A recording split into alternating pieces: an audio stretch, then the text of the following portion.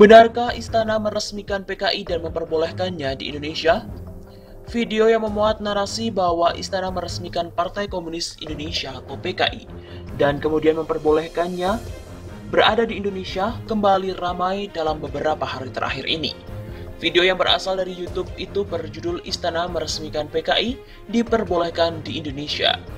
Hingga kini video itu telah ditonton lebih dari 175 ribu kali dan terus mendapatkan komentar dari warganet. Dalam video yang telah diunggah pada 24 Juni di tahun 2018 oleh kanal Crescent Moon itu, terdapat tulisan yang sama dengan judul video, yakni Istana meresmikan bahwa PKI diperbolehkan di Indonesia. Video itu juga berisi cuplikan rekaman Menteri Dalam Negeri saat itu Cahyo Kumolo. Cuplikan tersebut berasal dari tayangan Breaking News, sebuah stasiun televisi yang berjudul Pengambilan Keputusan Perpu Ormas. Namun, tidak diketahui stasiun televisi apa yang menyiarkan tayangan tersebut. Hanya diketahui bahwa tayangan itu direkam pada pukul 16.17 waktu Indonesia Barat. Untuk menelusuri video asli yang memuat tayangan Cahyo Kumolo, di atas Tim cek fakta dari Tempo mengambil gambar tangkapan layar tersebut dan memasukkannya ke reverse image tools Google. Hasilnya ditemukan bahwa video itu berasal dari tayangan breaking news di Metro TV yang dimuat pada 24 Oktober 2017. Tayangan itu berisi pemberitaan bahwa DPR dan pemerintah yang diwakili oleh Menteri Dalam Negeri Cahyo Kumolo telah sepakat untuk mengesahkan peraturan pemerintah pengganti undang-undang Perpu nomor 2 tahun 2017 tentang organisasi masyarakat menjadi undang-undang.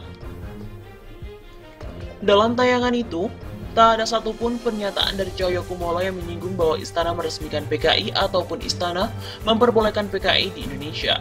Selain itu, era PKI telah berakhir setelah gerakan 30 September 1965. Pembubaran PKI itu pun telah dituangkan dalam ketetapan MPRS nomor 25 tahun 1996 tentang pembubaran PKI Partai Komunis Indonesia.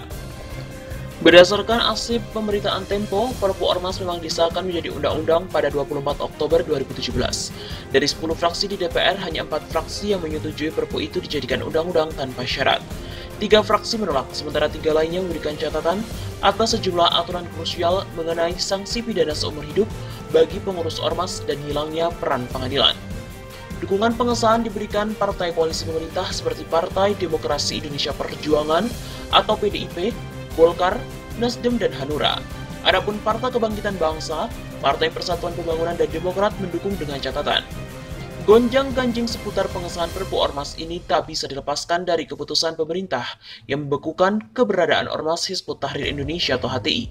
HTI menggugat keputusan itu lewat Mahkamah Konstitusi, namun kandas bersamaan dengan pengesahan Perpu Ormas. Kalau objek gugatannya hilang, biasanya amar putusannya tidak dapat diterima. Ujar juru bicara MK Fajar Laksono. Penyebar hoax istana meresmikan PKI pun ditangkap. Dikutip dari laman tirto.id, Badan Reserse Kriminal Polri telah menangkap LES, 55 tahun sebagai penyebar informasi hoax. Istana meresmikan bahwa PKI diperbolehkan di Indonesia.